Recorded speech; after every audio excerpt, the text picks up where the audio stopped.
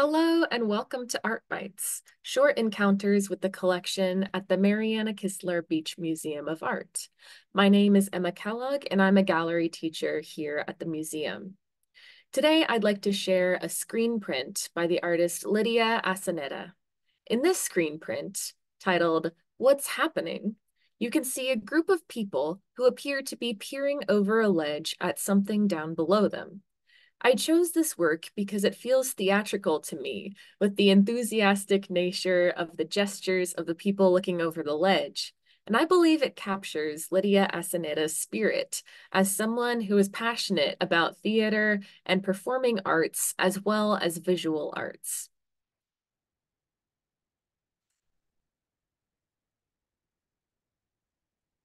In these two works, side by side, titled What's Happening on the left and You're Leaving the Country Now on the right, you can see the way that Aseneta portrays the human figure dynamically in her work. Aseneta was an artist with many different venues for her work. She made many screen prints and other types of prints, and she was a playwright and a makeup artist for theater and a costume designer. She gained knowledge for sewing when she was growing up in the Philippines, as she stated that most households in the Philippines had sewing machines. Much of her artwork is bright and colorful, and her prints explore color schemes, as you can see with this monochromatic purple aquatint on the left titled Full Many a Flower and this vibrant screen print on the right titled Four Seasons, which reminds me of a quilt in the way that blocks of color are pieced together. Aseneta was born in the Philippines in 1925, and she earned her bachelor's degree as well as her master's in teaching in the Philippines by 1958. In 1965, she arrived in Manhattan, Kansas to continue her studies at Kansas State University, pursuing a master's in speech and drama. The discovery of new places and cultures impacted her creative process, as she states in an interview discussing her creative writing process.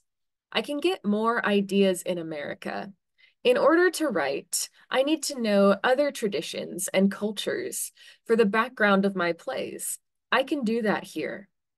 By having the knowledge of different cultures from the experience of living in different countries, she could see how the culture of the Philippines was different from new cultures she encountered.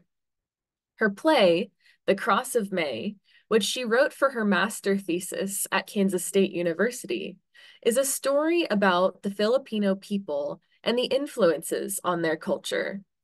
Aseneta spoke about a theme in this play being the Spanish occupation of the Philippines, which lasted for 350 years. And then afterward, the culture established by the American occupation of the Philippines clashed with this Spanish culture. The play explores how young people in the Philippines grappled with this conflict. The etching here, titled May Festival, depicts a Spanish festival. During her life, Aseneta also traveled to Spain to research her heritage.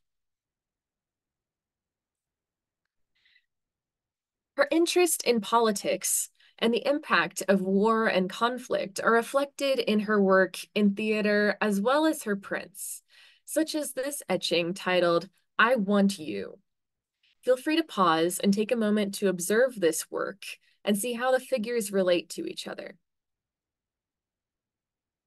Aseneta has depicted this iconic American World War I recruitment figure, Uncle Sam, juxtaposed with the image of a child, I want to ask the question, what does this work evoke for you?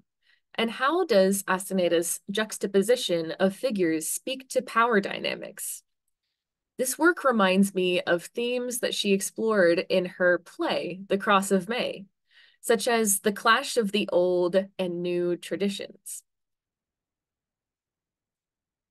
Now let's take a look again at two different versions Aseneta made of this screen print titled What's Happening.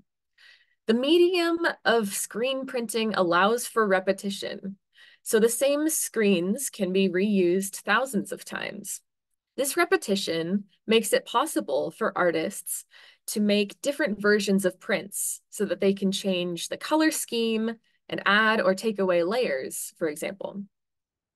During the exposure process of making a screen print, the image can be reversed. So I imagine that Aseneta created a reverse image at this point in the screen printing process. A final question I'll leave you with is, how does the way that Aseneta explore color and composition in her screen prints change the way that these artworks feel? Thank you for joining me today for Art Bytes.